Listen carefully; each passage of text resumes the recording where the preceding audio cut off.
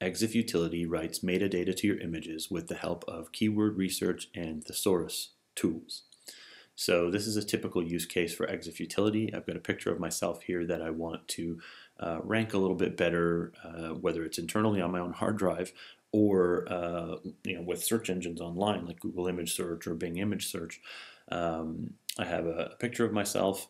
I have a title here. I've put in sexiest man on earth. I've checked the box that says I want to rename the image to match uh, so that uh, it will actually rename the image from whatever it is now to sexiestmanonearth.jpg. Copyright notice 2015 bradgoss.com. You can put whatever you want in here. Uh, I've got an image author field and I've got a longer description in here and you can put paragraphs in this description but I've just put in a single sentence. And then we need to come up with some keywords, and this is where EXIF utility does uh, its best work. So I'm just going to start with the single keyword man, and I'll click search. And you can see that we've pulled in a whole bunch of extra uh, words here that we may not have thought of on our own. Now, um, the easiest way to deal with this is to just delete the um, keywords that you don't want and leave in what you do. So I'm just going to quickly go through here. I'm going to keep manservant in here just for the hell of it because I think it's hilarious. Um, all right, we'll go with that. And then I'm just going to copy those keywords down and you can see they automatically get put into the image keywords section. I'm going to type in pipe here. All right, so I got pipe, uh, tobacco pipe. I think that might be a shepherd's pipe, but whatever, we'll go with that. Right, so copy those in. Uh, I'll type handsome.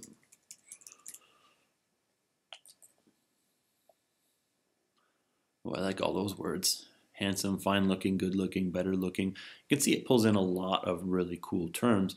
And then over here, we also have some terms we might like. Um, keep everything but those. So I'll copy those down and I'll copy all of those down.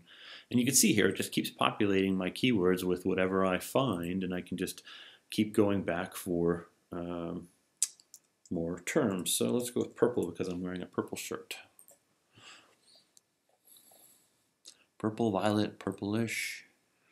I like these, the imperial, majestic, regal, royal, embellished, chromatic. All right, we'll go with those for now. Copy down. And I don't think any of these are going to make sense. Uh, you know what?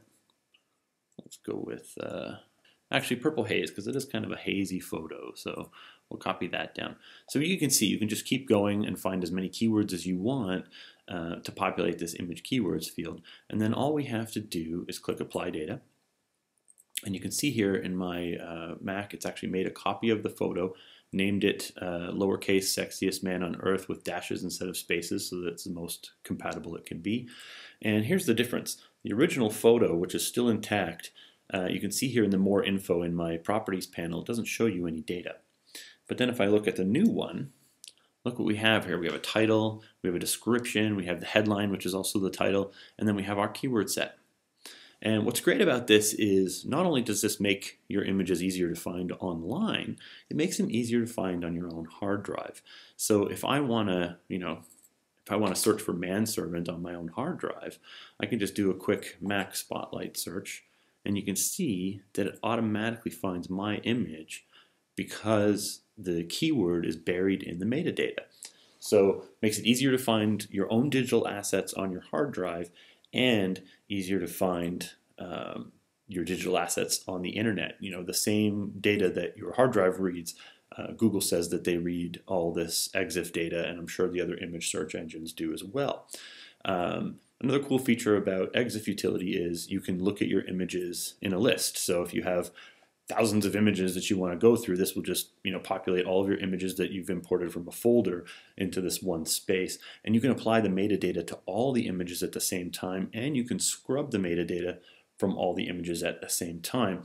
Uh, and then if you click on main, it just takes you back to the keyword research screen so that you can repeat the process.